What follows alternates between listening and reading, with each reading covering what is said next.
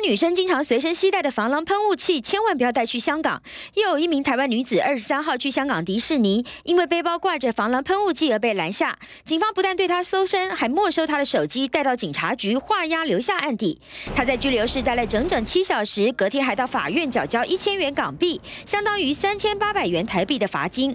防狼喷雾在香港属违禁品，而这已经是一个月来台湾女生带防狼喷雾器到香港迪士尼被捕的第二起案例。难道香港治安真的比较好？其实也有香港人不知道香港禁用防狼喷雾。觉得香港系 OK 嘅，系你知唔知？譬如香港真系可以用嗰啲防狼喷雾啊，嗰啲嘅？我乜都唔知啊，唔清楚。我觉得治安挺好的，挺好。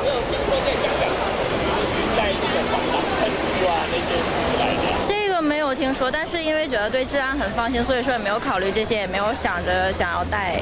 比较台港二零一五到二零一七这三年的性犯罪案件数量，香港分别是七十件、七十一件和六十五件，台湾则是七百四十五件、五百五十一件和三百零二件。台湾虽有逐年减少的趋势，但依旧是香港的五到十倍。虽然说香港的总体罪案以及性犯罪率都属于偏低，但财不露白到哪里都一样。除了少去僻静的地方，带备一些喷雾丝的发胶或香水，既不触犯香港的法律，也能适当的自保。以上是驻香港记者李锦华的报道。